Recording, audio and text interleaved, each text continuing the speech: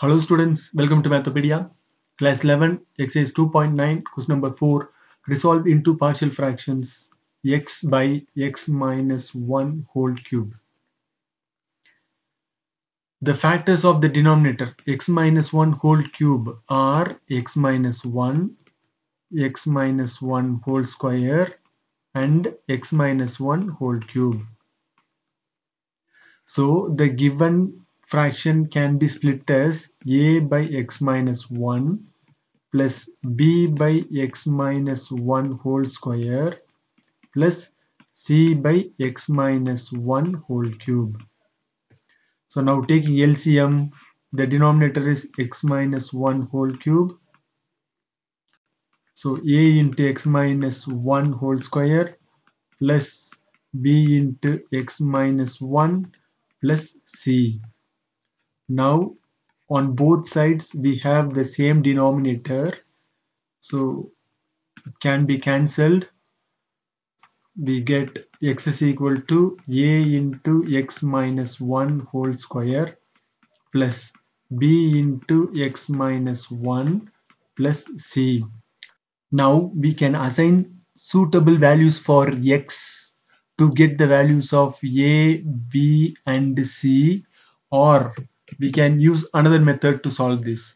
That is x is equal to a into use a minus b the whole square formula. So we get a square plus b square minus 2ab plus b into x minus 1 plus c so that is x is equal to multiply a.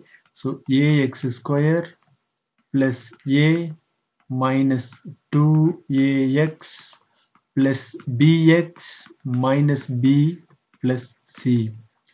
Now group the like terms. That is x is equal to x square term we have only one.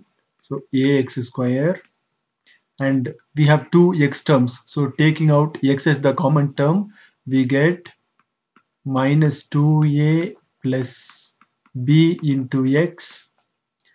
Then we have three constants a minus b and then c. So plus a minus b plus c. Okay. Now equating the x square terms on both sides. We have ax square is equal to see on the left side we don't have x square terms. So 0 from that we get a is equal to 0 next. Equating the x terms on both sides. So we get minus 2a plus b into x is equal to see on the left side we have x. X so cancelling x we get minus 2a plus b is equal to 1 and already we have got the value of a as 0 so minus 2 into 0 plus b equal to 1 so we get b is equal to 1 okay. Next equating the constants on both sides. See here the constant is a minus b plus c. So that is a minus b plus c is equal to on the left side we don't have any constants so equal to 0 now already we have got the values of both a and b that is a is 0 b is 1 so plus c is equal to 0 from that we get c is equal to plus 1 so we have got the values of a b and c. So substitute these values in equation 1 so equation 1 becomes